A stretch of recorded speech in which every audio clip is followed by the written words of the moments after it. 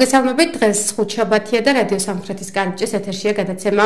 ექიმი გურჩევს მე კი მისი წამყვანი ლუბა გიორგაძე გახლავართ. დღევანდელ ჩვენს გადაცემაში ვისაუბრებთ ბავშვთა კვებაზე ძუძუთი თუ ხელოვნური კვება რომელსაც გურჩევენ პედიატრები ჩვილებისათვის და რომელი აუცილებელი ვიტამინები არის საკვებში. იმისათვის რომ ჩვენი პატარები უფრო ჯანმრთელები გაიზარდონ. ამ რჩევებს საინტერესო რჩევებს ჩვენი გადაცემის პირდაპირ ეთერში კი ქალბატონი სამედიცინო კორპორაცია ევექსის ექიმი პედიატრი ლია ზეთგინძე მოგცემს მოგესალმებით ქალბატონო ლია მადლობა გადაცემაში მონაწილეობისთვის თქვენ მოწვევისთვის. დავწყოთ თავდაპირველად ბავშვთა ძუძუთი კვებაზე რა თქმა უნდა დიდი უპირატესობა სწორედ ძუძუთი კვებას აქვს და დიდი უპირატესობას ექიმებიც და მშობლებით ძუძუთი კვებას ანიჭებენ. რა აი რა უპირატესობები აქვთ უფრო კონკრეტულად რომ გითხრათ თქვენ ძუძუთი კვებას და რით არის კარგი ბავშვისთვის რა თქმა უნდა დედის ძუძუ ბატონო ძუძუთი კვება ყოველთვის იყო არის და იქნება საუკეთესო კვება ყველა კვებათა შორის. რადგანაც ძუძუს შიშემავალი რძე შეიცავს ყველა იმ აუცილებელი ინგრედიენტებს რაც აუცილებელია ახალშობილი ბავშვისათვის. მის სპეციფიური მოთხოვნილების დასაკმაყოფილებლად. ვინაიდან ბავშვი ძუძუთ კვებას იწყებს პირველივე საათებში მისი ორგანიზმის კუჭნაწლავის ტრაქტი ჯერ კიდევ მომწიფებელია, ამიტომ მას ჭირდება ძალიან დაკუცმაცებული, ადვილად ასათვისებელი საკვები, რაც სწორედ ძუძუს რძეში არის კარგად წარმოდგენილი. ამიტომ ის ფორმულა, რომელიც არის ძუძუთი, კვების დროს ყველაზე მისაღები და ყველაზე უნიკალურია. მასში შედის ადვილად ასათვისებელი ცილები, ცხიმები, ნახშირწყლები, მინერალური ნივთიერებები, ანტისხეულები, ვიტამინები, მიკროელემენტები, რაც მეტად სჭირდება ბავშვს ნორმალური ზრდა განვითარებისათვის. ამავე დროს იგი შეიცავს პრე პრებიოტიკებს, პრობიოტიკებს, ლაქტოზას, რაც ხელს უწყობს საკვების დაშლაში და ადვილად მონელებაში. გარდა საკვები ღირებულებისა, რასაც შეიცავს ძუძუს რძე, მნიშვნელოვანია აგრეთვე ის, რომ ძუძუს კვების პერიოდში ბავშვი უფრო ახლო კონტაქტში იმყოფება დედასთან და ამ შემთხვევაში ეს ხელს უწყობს ლაქტაციის პროცესის უკეთ წარმართვას და ბავშვის ჯანმრთელობისთვის უკეთესია. ხდება უფრო ხანგრძლივად ეს წოვის პროცესი, ამ დროს ხდება ძუძუს სადინრების გახსნა, რაც საბოლოო ჯამში სამომავლოდ მასტოპათიისაგან იცავს დედის ორგანიზმს. რაც შეეხება ბავშვს კი, მისი კუჭნაწლავის ტრაქტი ბევრად უფრო დაცული მაღალია ძუძუთი კვების დროს ვიდრე სხვა კვების შემთხვევაში. ძალიან ბევრი დადებითი, ასე ვთქვათ, ნიშანი აქვს ძუძუთი კვებას. დაბადებიდან რა პერიოდამდე რა საკამდე უნდა იყვოს ბავშვი ძუძუთი კალოდონია? ზოგადად ძუძუთი კვების პერიოდი სრული ძუძუთი კვების პერიოდი 6 თვამდეა რეკომენდირებული. მარტო ძუძუთ კვებაზე როცა იმყოფება ბავშვი. ძუძუს მიცემა 2 წლამდე შესაძლებელია ოღონდ 6 თვის შემდეგ მან უნდა მიიღოს დამატებით კიდე სხვა საკვები. დამატებით საკვებზე აუცილებლად ვისაუბრებთ კიდე, თუმცა არის ძალიან მიუხედავად იმისა, რომ 6 თვე არის ყველაზე კარგი პერიოდი ძუძუთი კვება, არის შემთხვევები, როდესაც 3 და ან 4 თვის შემდეგ უკვე ძუძუს თავსანებები ნებენ და პირდაპირ სხვადასხვა ფაფებზე გადაყავთ. ეს რამდენად კარგია ბავშვის ორგანიზმისათვის? როდესაც ძუძუ თიკვება შეუძლებელი ხდება სხვადასხვა მიზეზების გამო. შეიძლება იყოს დედის ჩვენება შეიძლება ბავშვის ჩვენება შეიძლება დაკავებულია დედა სამსახურეობრივი მოვალეობის გამო და ვერ ახერხებს ძუძუს მიცემას ყველა კვების პერიოდში. ამ შემთხვევაში გადადიან დამატებით კვებაზე ну შერეულ კვებაზე.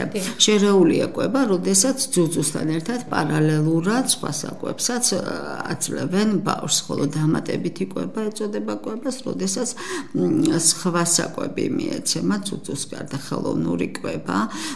ეს შემთხვევაში 2/3-ზე მეტი უნდა იყოს სხვა საკვები ცუცუს კვებასთან შედარებით. ამას ქვია ხელოვნური და ბუნებრივი უპირატესად არის ცუცუთი კვება, ან მთლიანად ცუცუსი, ან 2/3 მაინც ცუცუთ კვებას უნდა ეთმობოდეს. რაც შეეხება ფაფებს, რაზეც თქვენ მკითხეთ, 4 თვენახევრიდან შეიძლება მიეცეს ბავშვს ფაფები.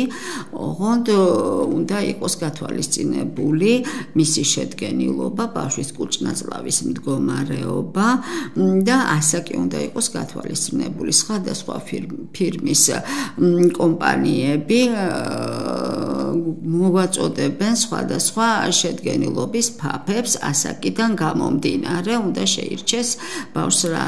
ექიმის დანიშნულებით უნდა მოხდეს ეს რა თქმა უნდა, იმიტომ რომ კუჭნაწლავის ტრაქტის გათვალისწინები თუ აქვს შეკრულობისკენ მიდრეკილება, მას ბრინჯის ფაფა უნდა შეესხუდოს თუ არის აღჭილობა პირიქით, ციციბურას ფაფა, ქლიავით გამდიდრებული ფაფა უნდა შეესხუდოს და ასე შემდეგ. დიახ, თუმცა არის ძალიან ბევრი შემთხვევა, როდესაც თვითნებურად აძლევენ მშობლები ან შეერეულ ან თუნდაც დამატებით საკვებს სახლში მომზადებულს. ამ შემთხვევაში რას ურჩევთ თქვენ ამ შემთხვევაში? ეს ცოტა სარისკო მომენტია, ნამდვილად რთულია ამ საკითხში ესე უხეშად ჩარევა, იმიტომ რომ ფინანსური პრობლემების გამო ზოგს არანაირი საშუალება არ აქვს ბავშვს, მაგრამ ეს აი სახში მომზადებული ფაფებიც კი გამონაკლის შემთხვევაში მაინც ჯობია ექიმს შეუთანხმდეთ.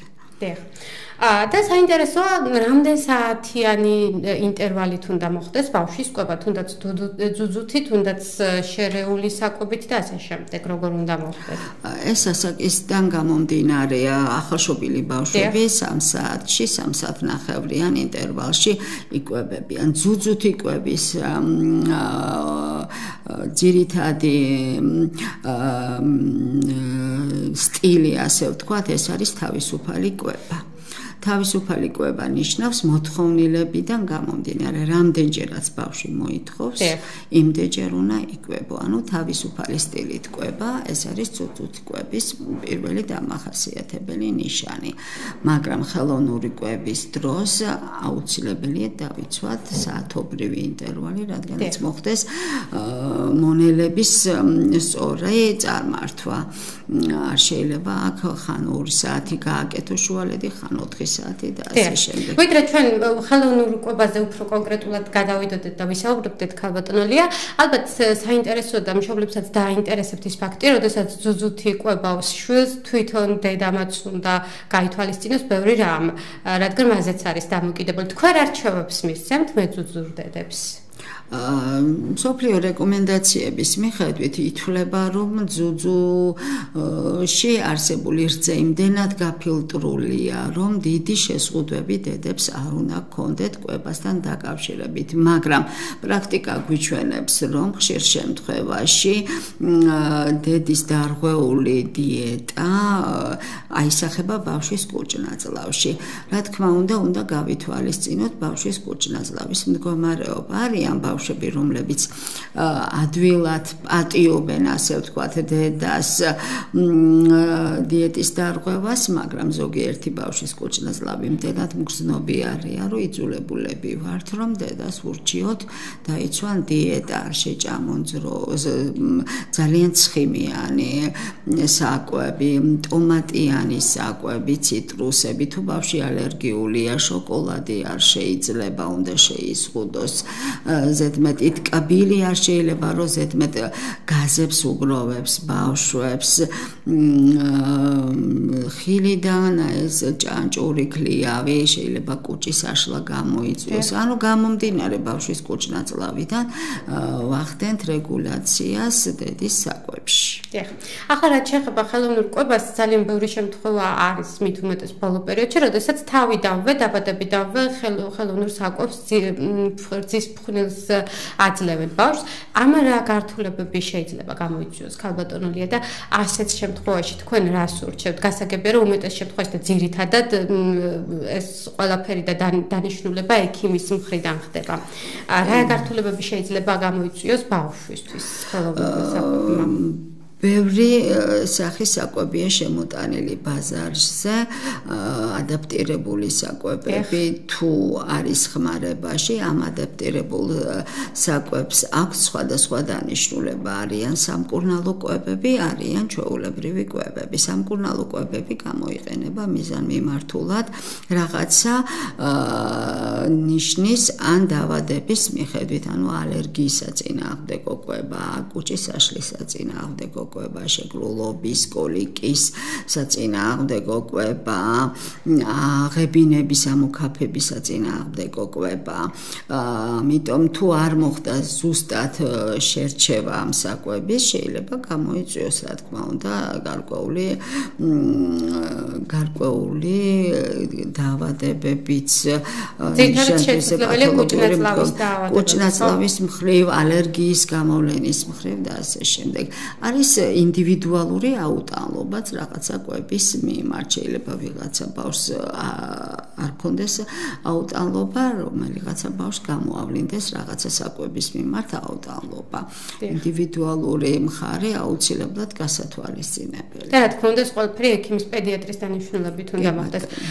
ნუ ყავახსენეთ რომ ალერგიასთან ერთად ერთ-ერთი ასე ვთქვათ დაავადება შეიძლება კუჭნაწლავის დაავადებაც გამოიწვიოს ბავშვებში და ამისთვის ხშირ შემთხვევაში ხოლმე ნიშნება ეხება თუ არ ვიცი ასმევენ ბავშვებს ანტიბიოტიკებს, მედიკამენტებს და სხვადასხვა სახის თუნდაც თხევად წამლებს.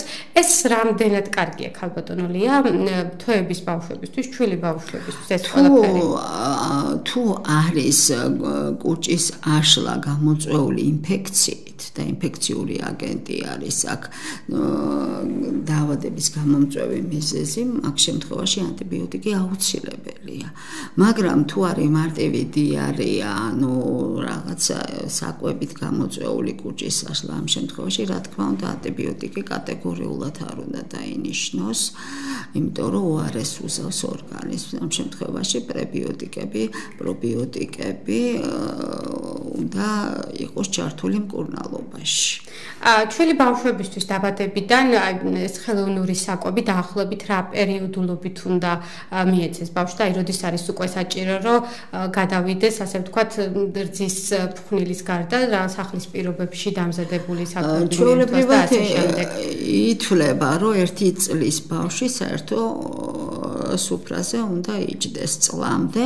ბავშვი მაინც სპეციფიური კვების რეჟიმში უნდა იმყოფებოდეს. რა თქმა უნდა, იქ ასაკობრივი შეზღუდვები არის, რომელ ასაკში რა საკვები ინგრედიენტი უნდა შეემატოს ბავშვის კვებას. ხო, თუ ბავშვი არის ძუძუთ კვებაზე 6 თვემდე ვთქვით, რომ ძუძუთი კვება იქნება მხოლოდ ბავშვის რაციონში. 6 თვის იქით უკვე იწება დამატებითი საკვები პროდუქტების ჩანაცვლება, ხო?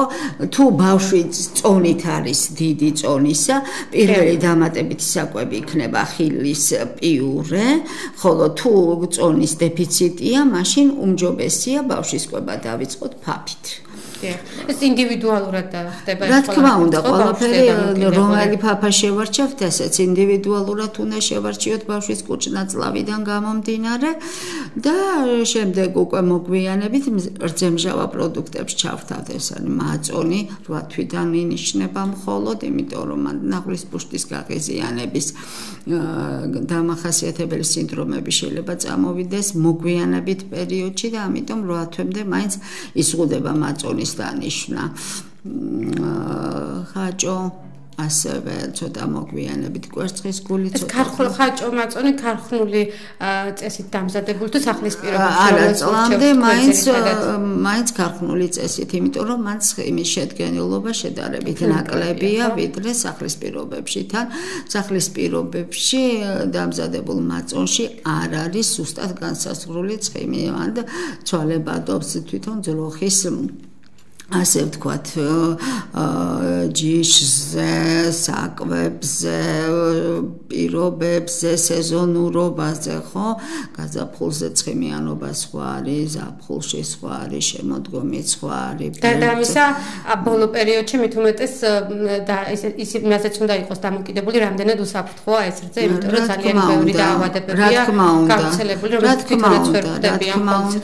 რა თქმა უნდა, ეგ აუცილებლად უნდა იქნეს, ამიტომ ყოველთვის სასურველია რომ ყველაზე უსაფრთხო ასე ვთქვათ ქართული აუცილებლად უნდა შემოწმდეს ვარგისიანობა. დიახ და ვარგისიანობის ბაზე შემოწმების დროს აი ყიდვის პერიოდში ხელოვნურ საკობს როდესაც ყიდულობს მშობელი აფთიაქში შესაბამისად.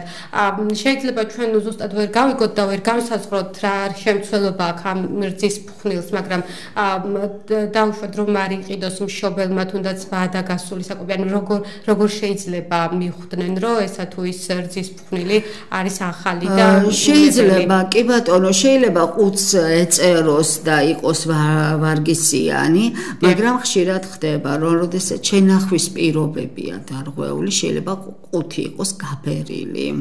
ან გახსნი და ფერი იყოს შეცვლილი, ან იყოს შიგნით არაერთგვაროვანი ფხვნილი და იყოს დამორკლული, ასე ვთქვათ, შეწებებული ნაწილაკები, ეგ აუცილებლად უნდა იქნეს გათვალისწინებული. მხოლოდ ვარგისიანობას არ უნდა დაეყრდნოს მშობელი, უნდა იყოს გათვალისწინებული თვითონ ვიზუალურად როგორ გამოიყენ გამოიყურება ეს ესე თუ ის საკვები.